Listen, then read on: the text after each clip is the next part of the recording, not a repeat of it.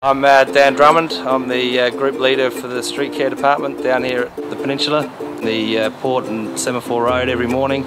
Um, work with two lads, uh, Robbie and Roger. Typical day for us is 5.30am uh, start. We get together in the morning, uh, three of us, have our coffee and a bit of a toolbox meeting, plan our attack on the, the streets of Port Adelaide. We run a blower, a footpath sweeper and a road sweeper. Well, we find we find all sorts. We find money, um, find contraband, uh, um, broken glass, uh, sexual paraphernalia.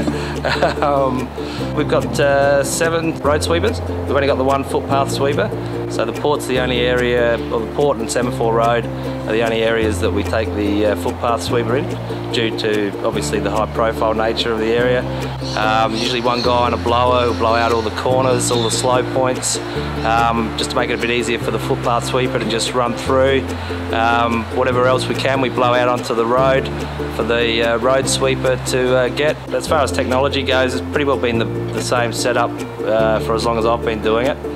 Uh, my partner in crime, Roger, he's been here about 20 odd years and they used to have a uh, like a big tank of a machine that you couldn't turn around and I think they rolled it a couple of times and uh, got it stuck on uh, curbing and everything else. We see the same people every morning at the bus stops and the cafes and uh, they all stop and have a chat and that's, so yeah, most people are brilliant. We uh, often get stopped and told how much of a wonderful job we're doing and, and not such a wonderful job sometimes. And been here 10 years, I've worked for council for 20 years.